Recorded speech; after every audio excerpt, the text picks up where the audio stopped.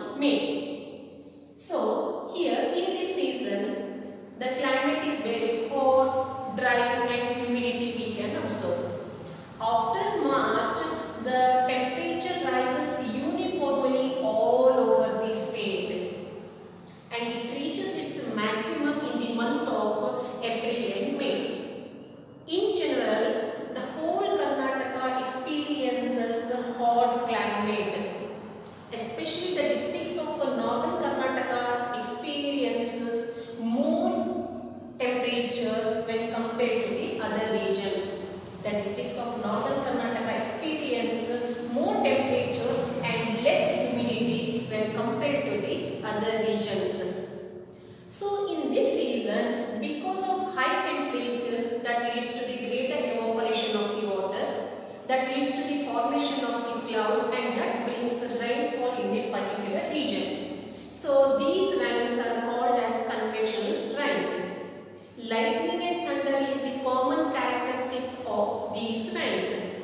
even some in some places hailstones also falls. So these rains called by the different names in the different part of India but in Karnataka these rains called by the name of mango showers and cherry blossoms. Why it is called as mango showers? Because it helps for ripening the mangoes. Why it is called as cherry blossoms? Because it enables the flowering of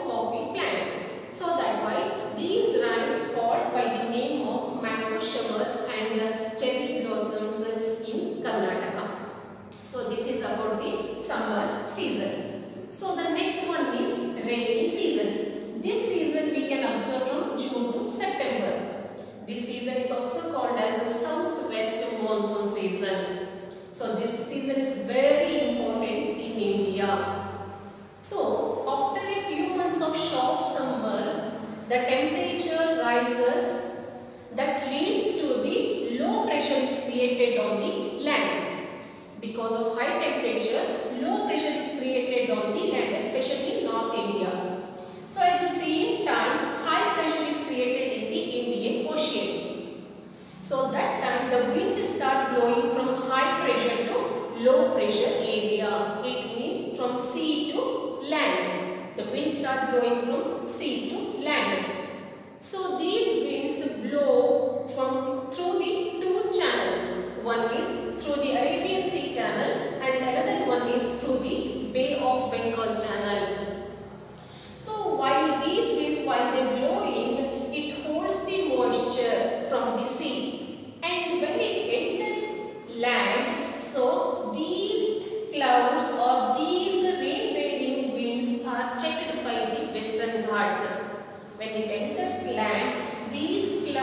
stopped by the western Ghats and results in heavy rainfall in the western Ghats. So, coastal area and Malnad region, both the region receives a good amount of rainfall in the southwest monsoon season. So, nearly Karnataka gets 80% of its rainfall. So coastal area, Malnad area receives good rainfall. When these clouds move further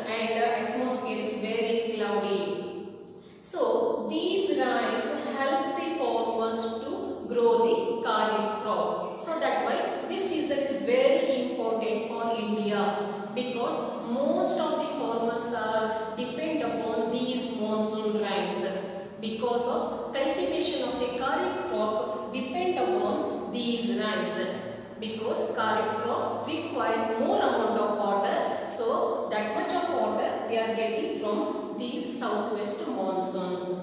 So this is about the rainy season in India. This is very important for the Indian farmers. Most percentage of rainfall received in this season only. So the next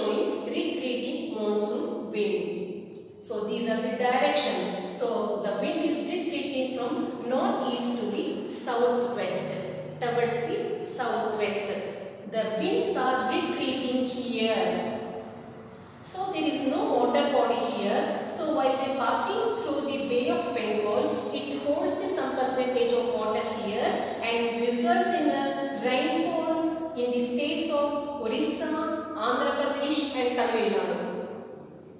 Because of certain amount of moisture it holds from the Bay of Bengal so that why it pours rains in the state of Orissa, Andhra Pradesh and Tamil Nadu. In this time, Southern Maidan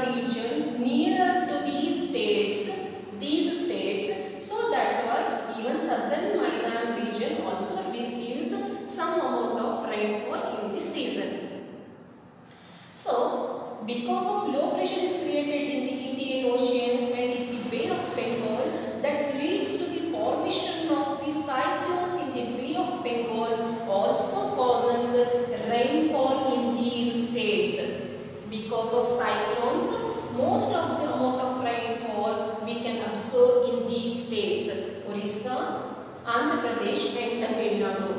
Because of these cyclones, okay, these areas are flooded by water. So this is about the retreating monsoon season. So the next one is winter season. Winter season we can observe in the month of December to February. December, January and February. So in these months the temperature decreases, the uh, humidity decreases, even amount of rainfall also decreases.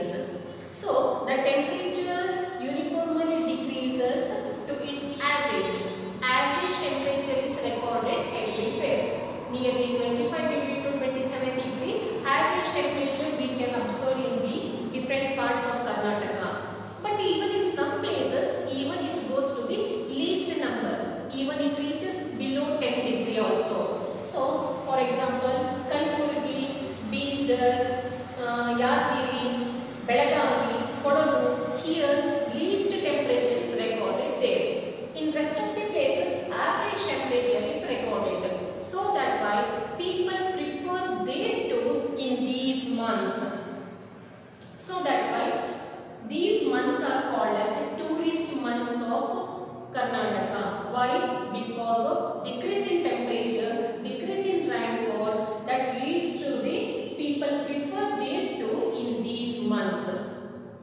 So these months are called as tourist months of Karnataka. So in this time, average temperature is recorded throughout the Karnataka. So now you learned about different seasons of Karnataka. So here four seasons of Karnataka. So you learned today. So here is the map. Okay. So these red arrow marks shows the southwest monsoons and these yellow arrow retrieving monsoons. Please absorb these markings carefully and understand the lesson.